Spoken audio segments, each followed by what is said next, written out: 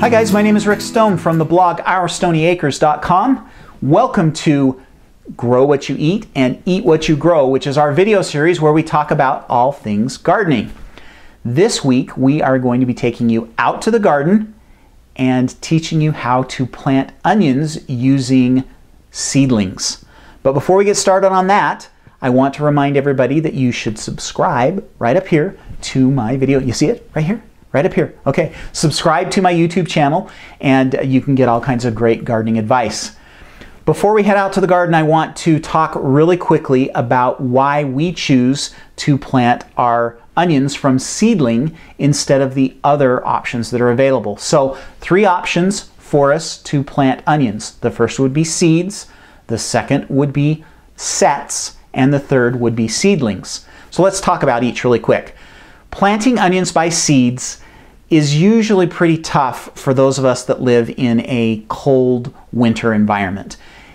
If you have if you live in a nice mild environment, you might be able to actually plant your onions by seeds out in the garden and get them to grow. But most of us that live in a cold environment, if we want to plant from seed, we have to start them indoors.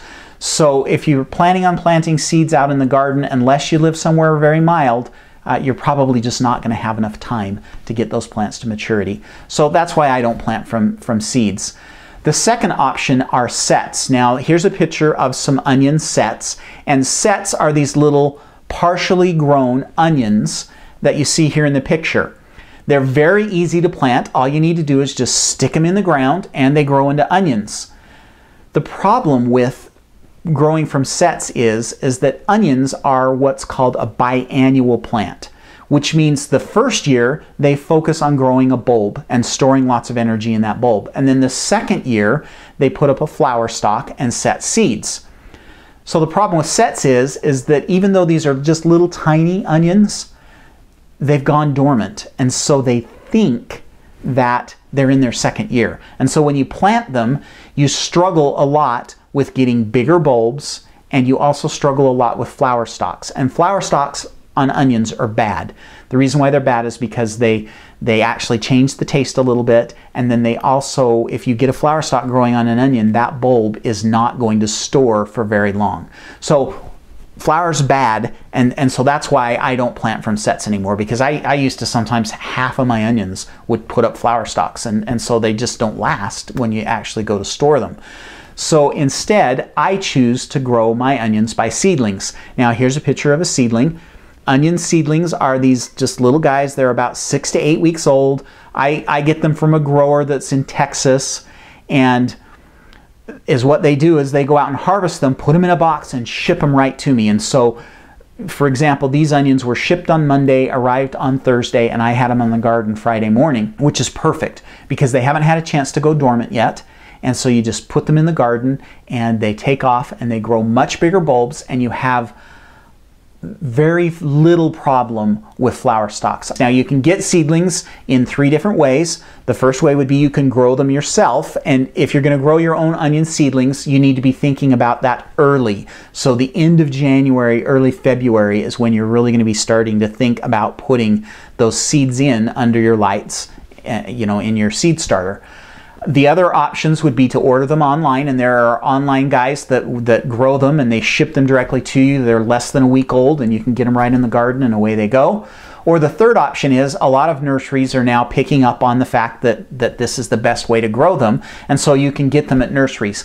The one caveat that I would give you with that is you need to make sure you find out when the nursery is getting a new shipment of onions in and go buy them that day so that you're getting them as fresh as possible because sometimes they'll sit for two, three, four weeks at your nursery and, and then they're just not going to do as well. So you want to make sure you find out if they're going to have them in, when they're going to be in, so that you can buy fresh ones and get them right into the garden. So now let's head out to the garden and we'll take a look at how you actually plant onion seedlings.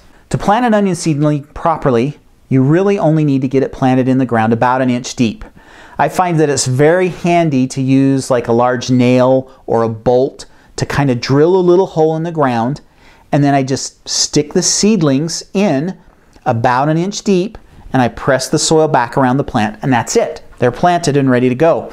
Just be careful that you don't make your holes too deep because then you'll put the onion in and it'll settle, settle deeper in the hole when you water and then you won't get quite as good of bulb development.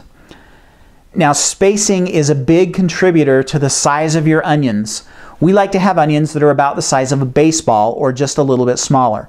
We found that these smaller sized onions are perfect for a single meal and we've also found that these smaller onions last a lot longer in storage.